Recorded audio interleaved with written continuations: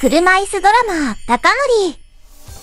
皆さんこんばんにちは、高則です。はい、えー、っとですね、もう6月入ってですね、このチャンネルもですね、ほぼほぼ1年経とうとしております。はい。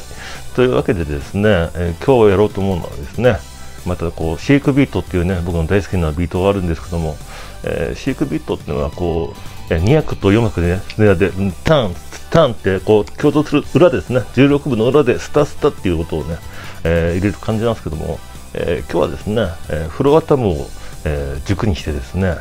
フロアタムの、えダブルストロークを使って、まずね、手だけで、え基本的な形をやってみようと思います。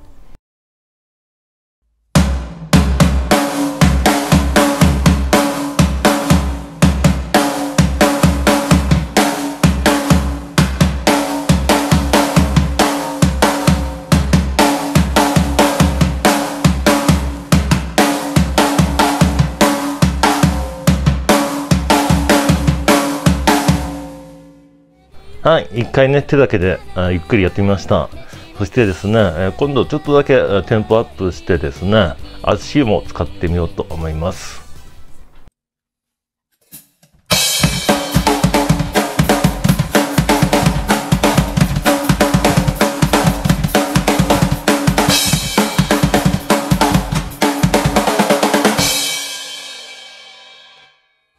はい、足を加えて叩いてみました。これでね、ちょっとドラムっぽくなったんじゃないかなって思っております。でね、えー、ついでなんで、ついでなんでっていうかね、えー、もうちょっとだけテンポを上げてですね、えー、今度ね、16の裏ですね、裏にたまにスネアじゃなくてね、タムでストストって入れてやってみようと思います。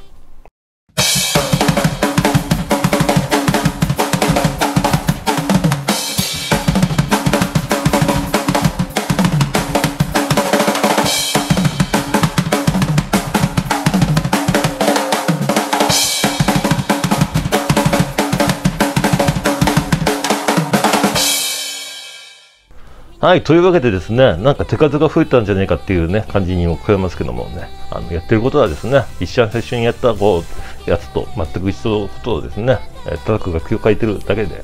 ございます。はい。こういうね、もう足がしんどい時はですね、もう手の力をね、利用してですね、それでもなるべく派手にっていうかね、あの、ぽく、ぽく聞こえるように やるね、えーある種こうフロアタムを使ってねダブルストロークを使ってですね、えー、こういう細かいような恥に聞こえるようなフレーズを今日は言ってみました。